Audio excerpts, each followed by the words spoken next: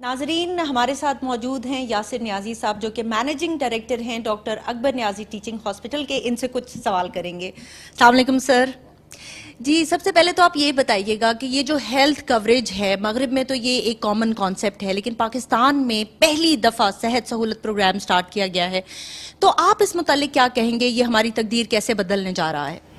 इस प्रोग्राम के ज़रिए जो लोग जिन, उन लोगों को जो, जिनको पहले सेहत की अच्छी फैसिलिटीज़ तक रसाई नहीं थी, उनको मिल सकती है।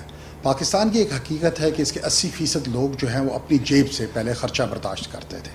और उसके लिए जो है, अब उन लोगों के लिए आसान हो जाएगा कि वो एक अच्छी क्वालिटी और म्यारी जो है, सेहत की सहूलियात उनको मुहैया होंगी। तो हम तो बड़े इसको इनकलाबी इकदाम समझ रहे हैं। और from private hospital point of view के लिहाज से भी कि हमारा वॉल्यूम भी बढ़ेगा। हमें वो लोग जो पहले हमारी सर्विसेज़ अफोर्ड नहीं कर सकते, अब वो आ रहे हैं, उसमें हमें इसको अपनी सहूलियात को, अपनी उनको मज़ीद बेहतर करने में और मज़ीद इन्वेस्टमेंट करने में हमें इसको मदद मिलेगी। ठीक।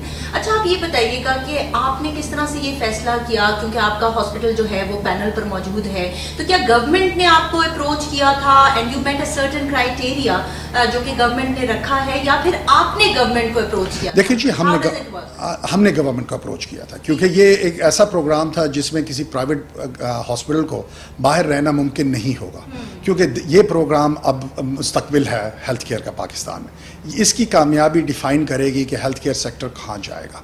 तो अगर हमने अपनी हॉस्पिटल का वॉल्यूम बढ़ाना है और हमने इसमें जिस खिदमत के तनाजर से हमने अपना अस्पताल बनाया है उसके लिए तो लाजिम था कि हम इस प्रोग्राम का हिस्सा बनते। और हमें इस बात का फ़ख्र है कि हम अपने इलाके के अंदर सबसे ज़्यादा सेहत सहूलत प्रोग्राम के हमारे पास पेशेंट्स आ रहे हैं और हम हर महीने मज़ीद एंड मज़ीद हमारी जो वॉल्यूम है वो बढ़ रहा है और हमें ग्रोथ आ रही है पेशेंट्स की तरफ़ से।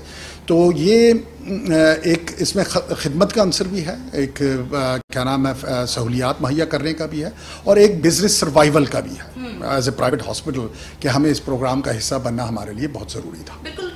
बहुत सारे लोग ये जानना चाहते थे कि प्राइवेट हॉस्पिटल्स क्यों पैनल पर आना चाहेंगे? तो आपने वजूहत क्लियर की कि क्या वजह है कि एक प्राइवेट हॉस्पिटल जो है वो पैनल पर आना चाहेगा? मतलब आपने इंसानी खिदमत का जज्बा भी है और definitely you want survive in the business as well तो बड़ा अच्छा आपने एक्सप्लेन किया, लेकिन मुझे ये भी बताइएगा कि जब पेशेंट डिस्चार्ज होता है तो क्या कोई सर्वे किया जाता है? पेशेंट से पूछा जाता है कि वो कितना सेटिस्फाइड है after living the hospital about the services that you are providing them बिल्कुल जी, क्या नाम है, हम भी करते हैं, हमारे बाकायदा जब डिस्चार्ज होता है तो एक सर्वे उनसे वो किया जाता है।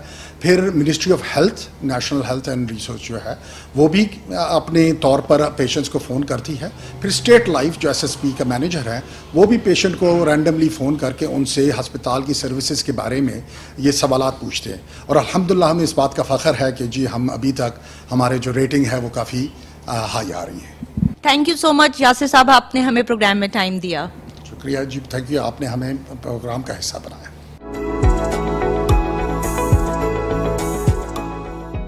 जी नाजरीन, आपने हमारा आज का प्रोग्राम देखा। उम्मीद है कि आपको पसंद आया होगा। Basically it was a step by step guide on how to use your Sehat card और हमने लोगों से मिलकर ये जानने की कोशिश की कि उनके सेंटिमेंट्स क्या हैं, उनको जो इलाज की सहूलियात मुहैया की गई हैं, उससे वो किस कदर मुतमिन हैं और हुकूमत के इस इकदाम के बारे में वो क्या कहते हैं। अपना बहुत सारा ख्याल रखिएगा। Thank you so much Allah हाफिज़।